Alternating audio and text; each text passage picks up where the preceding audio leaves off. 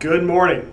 I'm Steve from Quantamize, and you're going to want to watch this video because we're about to tell you the most important trends and news driving markets this morning. You're watching the Quantamize Global AM Markets Preview. Today is April 16th, 2019. So much going on with the deluge of earnings results, but I'm spending most of my time looking at US small cap ETFs this morning.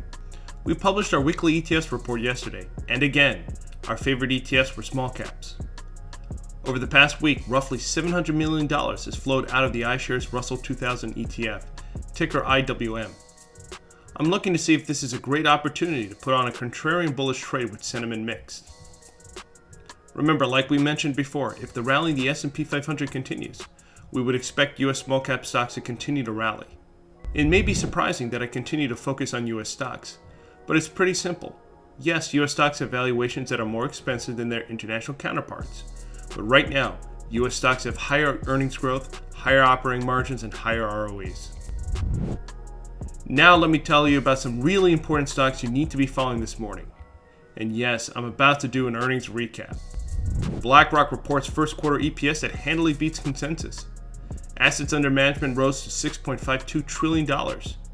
Institutional inflows were $29.1 billion in the quarter, with iShares ETF seeing $81 billion in inflows as well. Charles Schwab reports first quarter EPS that beat market forecasts. Charles Schwab reports return on equity in the first quarter of 20%. Charles Schwab reports 3.59 trillion client assets and accounts, 11.8 million active brokerage accounts, with 418,000 revenue trades per day. And finally, Bank of America reports first quarter results on an adjusted basis that beat expectations. On an absolute basis, the company reported record profit for the quarter. Management highlights that they bought back $6.3 billion in stock, helping drive a 13% year over year improvement in EPS. Fixed income trading was better than expected, with stocks trading missing, very similar to what Goldman Sachs reported yesterday. Lower fees led to a 1% drop in revenues for Bank of America's Wealth and Investment Management division. We continue to be biased to find ways to short the banking sector, with our favorite trade the put spread collar on the S&P SPDR Regional Bank ETF ticker KRE that we were pushing last week. Definitely something to consider right now. Thanks for watching this video. We'd love to hear from you.